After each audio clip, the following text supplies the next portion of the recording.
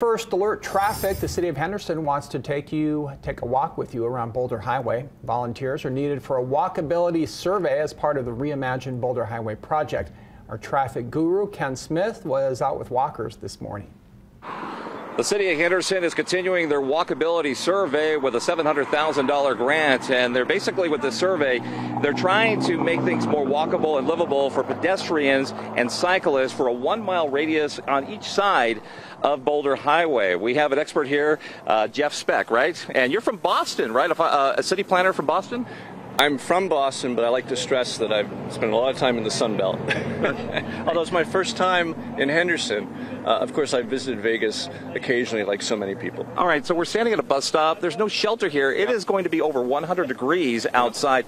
How do you expect people to walk more in a city where it is so blistering hot? We don't expect this bus stop to stay unsheltered. Clearly, your bus stops like this need to have need to have shade.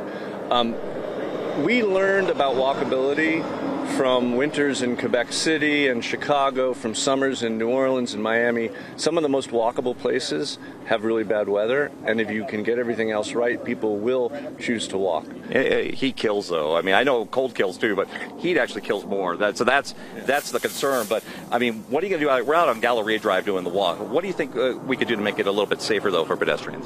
So making it safer would have to do with perhaps some sort of physical barrier between the sidewalk and the street. If there's a buffer, like you see here, between the bike lane and the sidewalk, that buffer could have some sort of vertical object in it. Um, but probably more likely and a more typical approach has to do with making the lanes the right width. We've got 12 foot lanes here. We've got 13 foot, 14 foot on some of your other streets. Uh, that encourages people to go way above the speed limit.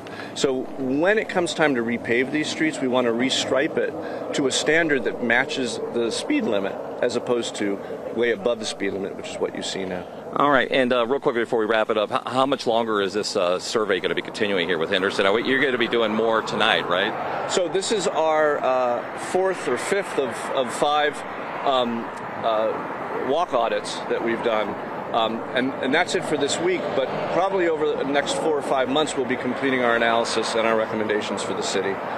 Okay. All right, uh, Jeff Speck here, um, city planner and walkability expert. Thank you so much. Thanks for your time. All right, and uh, so once again, they're going to be doing this walkability uh, audit and continuing out here, and they're also going to be at America First Arena this afternoon, right around four o'clock. Is that right? About, yeah, about four o'clock, and uh, you can go to there and uh, also speak your mind about all these uh, projects and the potential for changes on our roadways leading to and from Boulder Highway. Guys, we'll send it back over to you.